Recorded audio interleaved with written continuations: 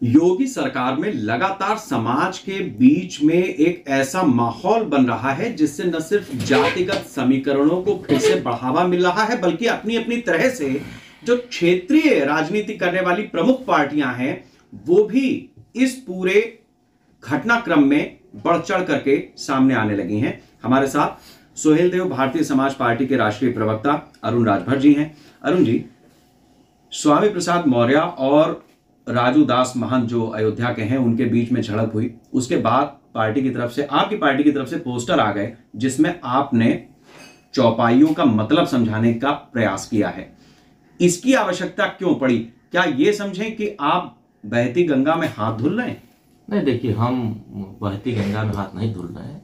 500 साल पहले की जो व्यवस्थाएँ थी, उन व्यवस्थाओं को जो लोगों ने पढ़ा नहीं है या जो लोगों ने समझा नहीं है उन लोगों द्वारा सवाल खड़ा किया जा रहा है। भगवान राम मर्यादा के आदर्श माने जाते हैं।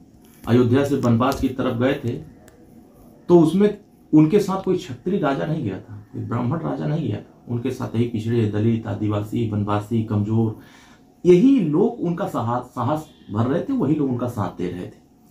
लेकिन जब वो वनवासी वर्ग के वे सेवरी जी का जूठा वेर खाते हैं तो ये संदेश देते हैं कि मैं किसी से बैर नहीं करता।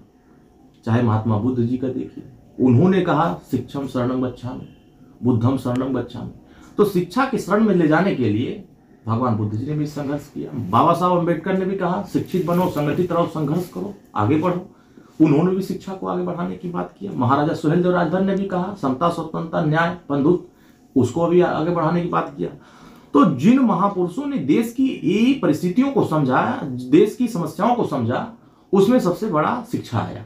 तो उस रामचरित मानस की चौपाई में भी जो ज़िक्र आया है, ताड़ना का, वो शिक्षा से ही जोड़ा गया है। लेकिन जो लोग रामचरित मानस को नहीं पढ़े हैं, वो इस तरह का सवाल खड़ा कर रहे हैं। उसके पीछे राजनैतिक साजिश।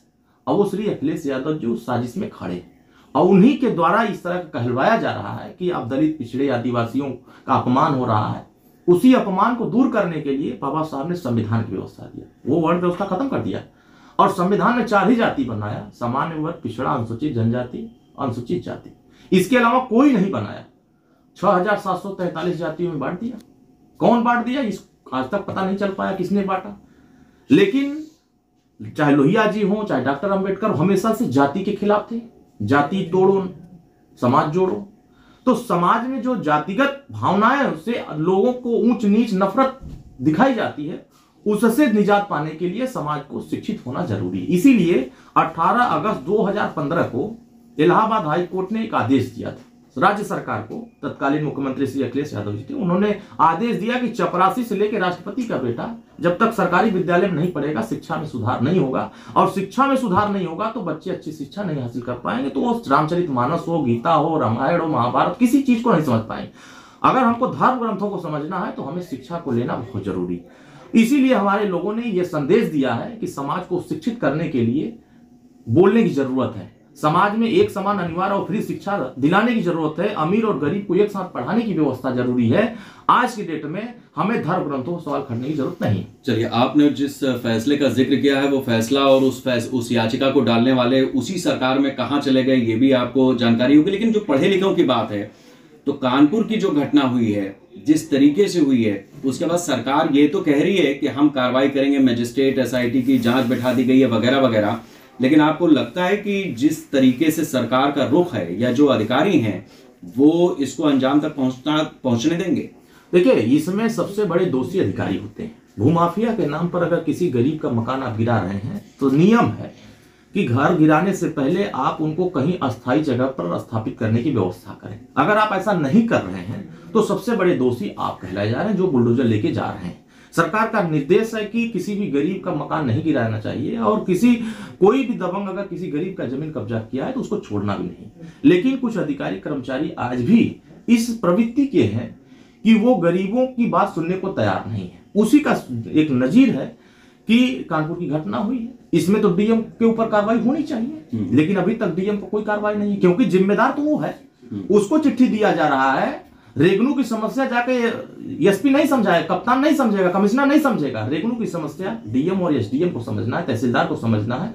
तो जब वो पीड़ित परिवार अगर उनको बार बार सूचना दे रहा है, उस पर अगर वो कार्रवाई नहीं कर रहे हैं तो इसके सबसे बड़े दोषी डीएम वहाँ के हैं और वहाँ के एसडीएम है और वहाँ के जो तहसीलदार है, लेखपाल है, वही लोग हैं।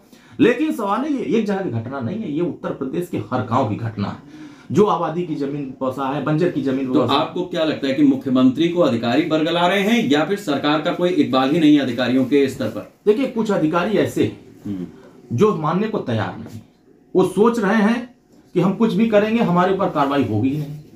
लेकिन अगर कार्रवाई सरकार कर रही है तो चिल्ला रहे हैं।